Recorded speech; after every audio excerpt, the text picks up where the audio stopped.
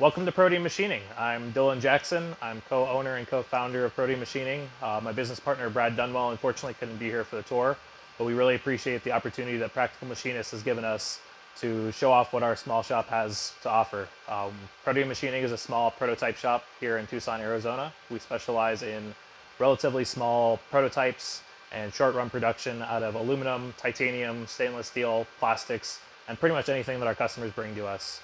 Uh, we really try to take anything our customers give us and take it to the highest level, both in terms of surface finish, quality, uh, precision, and excellent communication with our customers.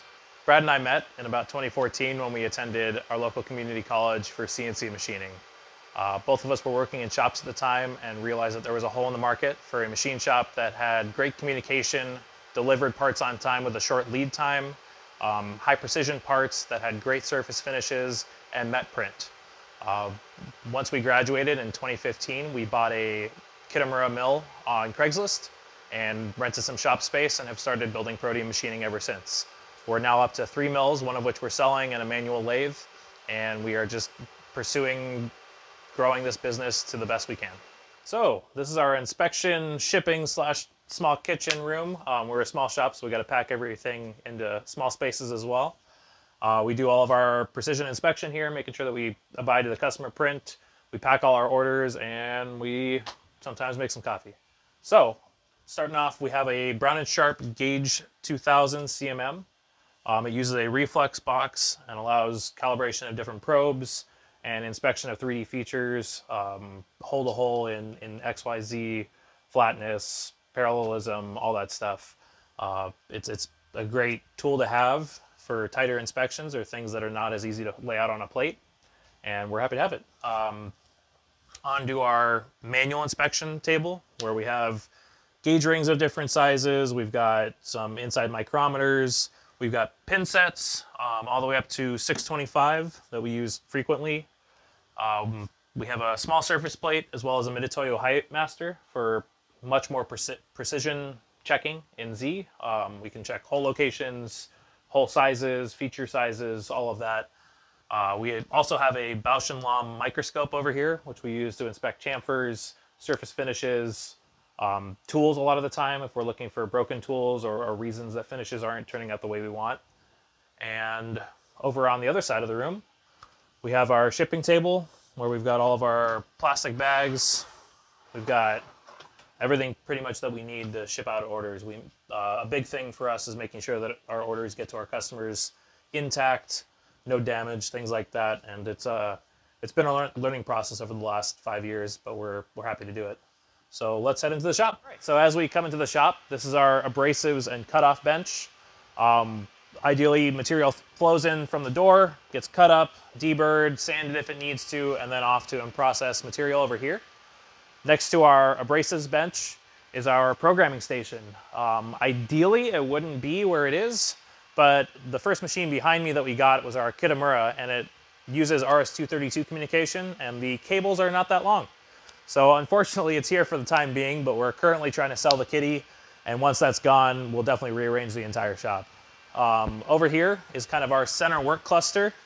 So we've got in-process material, any tooling for these specific jobs, as well as travelers if they're printed. Next to that is all of our tools that are available for both machines, as well as uh, collets for all of the tool holders. And they're in 3D printed tool holder or, collet holders that I designed and printed myself. Next to that, we have our tool storage. So we've got drills in here. Um, we've got taps organized by size, Next drawer down is end mills organized by size and type, so ball mill, different flute counts, things like that. And then the last drawer for us is uh, all specialty tools, so key seat cutters, corner rounders, indexables, things like that.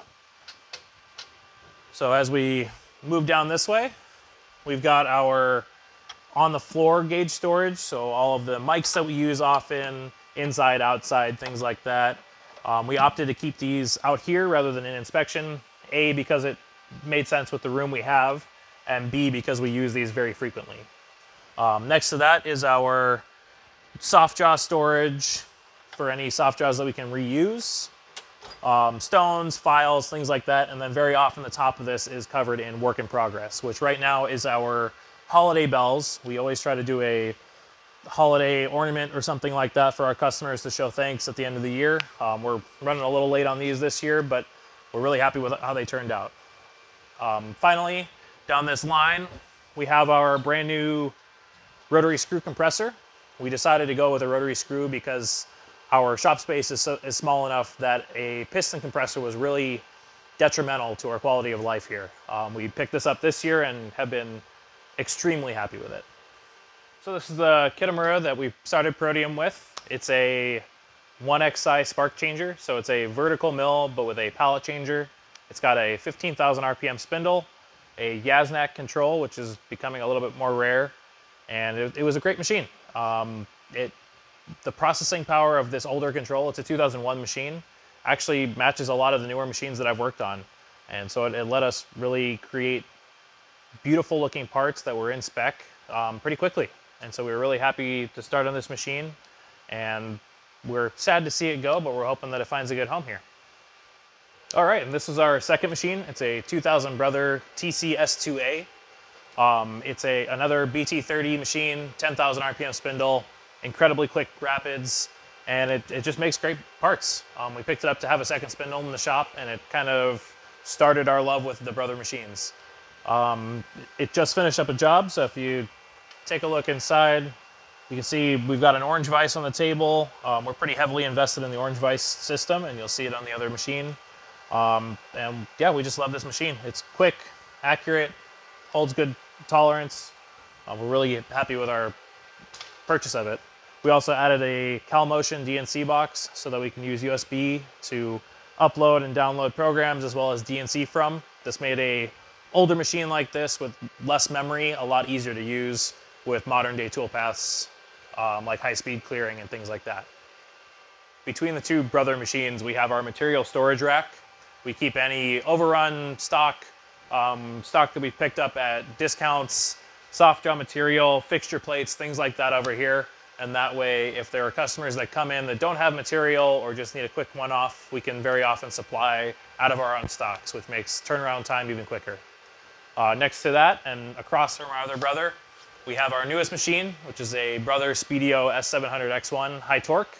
So this has the 10,000 RPM spindle that is a high torque spindle in the Brother lineup. So we've got a lot more torque and power than the standard 16K and it's a 21 tool. We've got probing, tool setting, and we also have the orange subplate on here. So we've got a bunch of zero points so that we can quickly remove and maneuver any of these vices to any of these positions. Um, it allows us to pull all the vices off. We can put a vacuum chuck on here.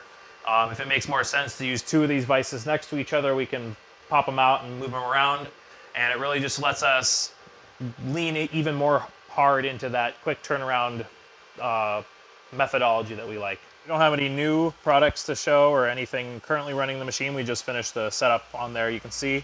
We'll go ahead and run a dry cycle just so you can see the brother in action.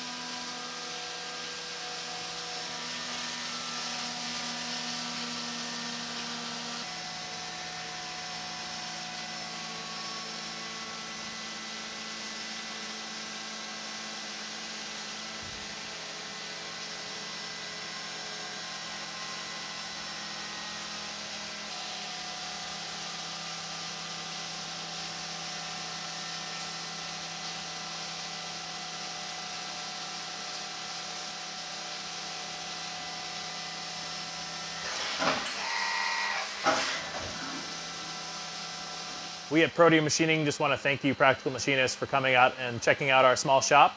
Um, we're growing very quickly, so you guys will have to come back in a couple of years and catch up with where we are then.